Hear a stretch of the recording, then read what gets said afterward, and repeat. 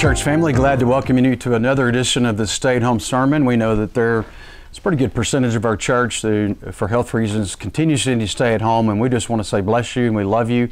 We want you to be able to stay connected through these messages. I remind you on each Sunday morning now at the regular worship time at 1040, the traditional service is being streamed live. And then I'm releasing this on Sunday mornings, which is kind of a preview and just a little something for you to chew on uh, during church time on Sunday mornings, and then the the version of the what's recorded live in Common Ground will come out usually on Mondays. But so glad you could tune in. We bless you. We miss you, and we want you to be a part of it. I'm glad today to introduce uh, a new series called Samuel the Prophet. We'll be taking a look at some of the the bigger events in the life of Samuel uh, in the book of First Samuel. So today we begin uh, with the, the events surrounding his birth. His birth was a miraculous birth.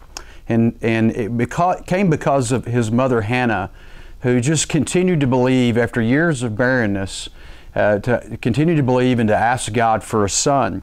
And so the, the story is, is that, that uh, Hannah was married to a guy named Elkanah, and, and as was common back in that day, he had more than one wife, and the other wife, Peninnah, had children. And, and she would kind of flaunt it in front of Hannah, would, would agitate her and pick at her and irritate her. And this went on for years and years. And the, and the story is, is that they would go up to a place called Shiloh, which is where the Lord's temple or tabernacle was at that time in the history of the nation of Israel. And we pick up in, in 1 Samuel chapter 1, verse 9, this story of them going back and forth to the temple. And when Hannah uh, cries out to the Lord and then becomes pregnant with, with uh, her son Samuel, he becomes this amazing leader and prophet. So in verse 9 it says this Once they had finished eating and drinking in Shiloh, Hannah stood up, and now Eli the priest was sitting on his chair by the doorpost of the Lord's house. In her deep anguish, Hannah prayed to the Lord, weeping bitterly, and she made a vow, saying, Lord Almighty, if you will only look on your servant's misery and remember me, and not forget your servant, but give her a son, then I will give him to the Lord all the days of his life, and no razor will ever be used on his head. As she kept on praying to the Lord, Eli observed her mouth, for Hannah was praying in her heart, and her lips were moving, but her voice was not heard. And Eli thought she was drunk, and he said to her, how long are you going to stay drunk? Put away your wine. Not so, my lord, replied Hannah, for I am a woman who is deeply troubled. I have not been drinking wine or beer, but I was pouring out my soul to the Lord. Do not take your servant for a wicked woman, for I've been praying here out of my great anguish and grief. And Eli answered, and this is key Go in peace, and may the God of Israel grant what you have asked him. Verse 18, and she said, May your servant find favor in your eyes. And then she went away and ate something, and her face was no longer downcast. Early the next morning, they arose and worshiped before the Lord, and then they went back to their home at Ramah. Elkanah made love to his wife Hannah, and the Lord remembered her. So in the course of time, Hannah became pregnant and gave birth to a son, and she named him Samuel, saying, Because I asked the Lord for him.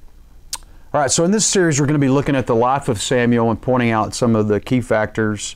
Uh, Samuel, you know, a little bit of background on him. He, he, was a guy that had many roles in his lifetime that was different than many of the other prophets of that day. He was a priest, he was the chief priest in the tabernacle at Shiloh for a season of his life. He was the last judge before uh, God moved from judges to having kings, and he was also recognized as a prophet. So, as we look at Samuel, one of the threads that I want us to pay attention to over the course of the, the series of messages the next few weeks is this idea of hearing. What does it mean to hear God? It's interesting that in Hebrew, the, word, the name Samuel means God heard. God heard Hannah's cry. So I just want to, to tell you today that as we unpack these stories uh, that represent kind of the highlights of Samuel's life, I want you to be looking for that thread uh, throughout all the messages. It'll kind of tie them together. So, what are some points that we will make? One of these is this: is that desire points to destiny. Why didn't Hannah, who had been barren for some time, why did she put herself through that grief year after year and continue to cry when, when obviously years had gone by and, and you know it looked like she was not going to have a child? Why did she torture herself and just continue to do this? But sometimes I think it's true that the things that we desire the most, in some ways, make the least amount of sense. You ever been around somebody where they just really wanted something and it almost didn't make sense for them to want it, and maybe it even caused pains. But there are those parts of all of our lives where it doesn't really make sense, logical sense, for us to keep hoping for it. However, we keep on hoping because our desire is pointing to our destiny. Remember that always. Your destiny is linked to your desire. So, what about you today? I want you to think about it, pray about it. What is a desire that you have for something to come to pass? Maybe it's been taking too long. Maybe it even seems like it's never going to happen. Maybe you've dealt with disappointment time after time. It may very well be the fact that you can't let it go is that it's pointing to your destiny in some way. Point number two is this sometimes our deepest longings are delayed. Why is that? you know, I, in God's economy and the economy of man, sometimes it, it just doesn't seem to make sense that something would take so long. Maybe somebody's wanting to be married and it's taking forever. Maybe somebody's wanting a child, a career, their dream home. You know, uh, they want to own their own business, and it just seems like it's every time they they step toward it, it gets delayed again and delayed again, and they're frustrated, and then, and you know it's almost too painful to hope for it anymore. Sometimes we have to wait, and, and, and there are different reasons for that. Listen to her. I mean, she begged God to intervene. She cried out for God to give her a son to the point that it looked like she was drunk. Uh, but, you know, it, it, was just there. So sometimes we just need to remember that the, the deepest longings of our heart are the ones that seem to get delayed the most. Doesn't mean that God's not listening. But here's what I think is true because when it happens, when it does come to pass, when we have that thing in our hands that we've only dreamed of in our hearts but haven't been able to really see yet, when we finally get it in our hands, it means more. It means a lot to us. And we view it then with the right attitude of gratefulness because it was born out of difficult circumstances. Sometimes our deepest, deepest longings are delayed. But the final point would be this, and it was certainly true in the life of Hannah, and it was played out later in the life and ministry of Samuel as well. God hears our deepest cries. God knows the desires of our hearts.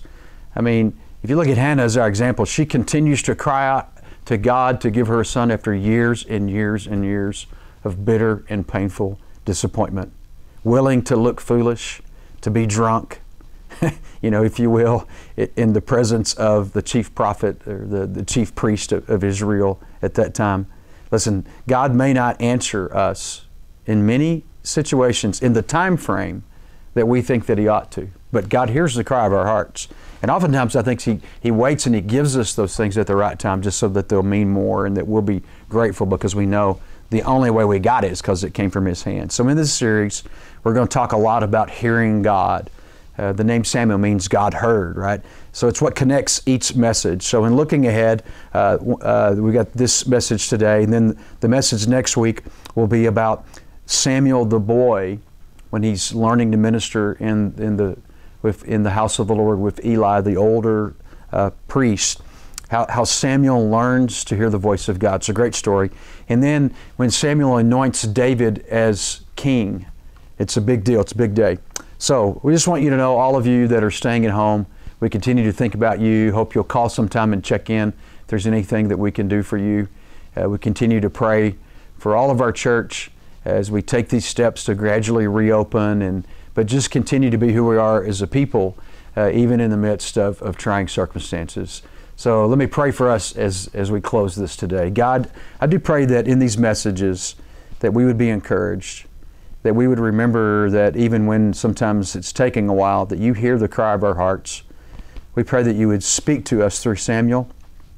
And God, I pray for each person listening to these messages today ask you to bless them and encourage them, strengthen them uh, in everything that's being faced. And we thank you so much for your presence in our lives. We pray this in Jesus' name. So you be blessed. Hope that you'll continue to tune in. Remember to look for the, the message uh, that's preached in Common Ground that'll come out on video on Monday. So blessings to you. Have a great week. We'll see you next Sunday.